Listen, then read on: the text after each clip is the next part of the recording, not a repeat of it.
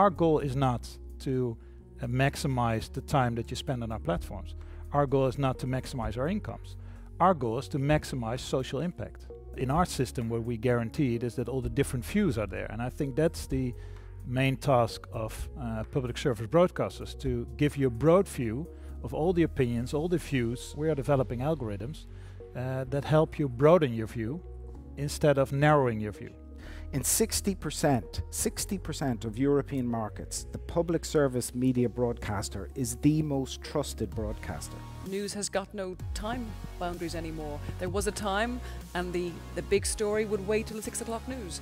That doesn't happen anymore. Stories break throughout the day. They're broken on social media. We have a problem with young audiences, so does everybody else.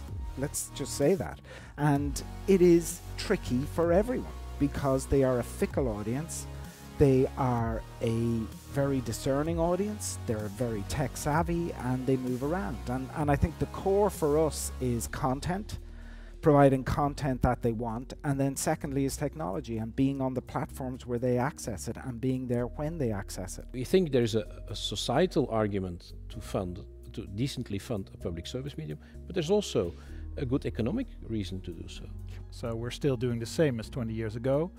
Uh, but we're doing much more. A Dutch household is paying around 7 euros a month, which is much less than a Netflix subscription, but you're getting much and much and much more. You know, we cannot compete with budgets like this. We cannot compete to the big tech platforms. A number of years ago, we were commissioning 80 million euros worth of content from the independent sector. And now we're doing 40. And because we're not commissioning Irish content, the entire creative ecosystem is under threat. And that's a real concern.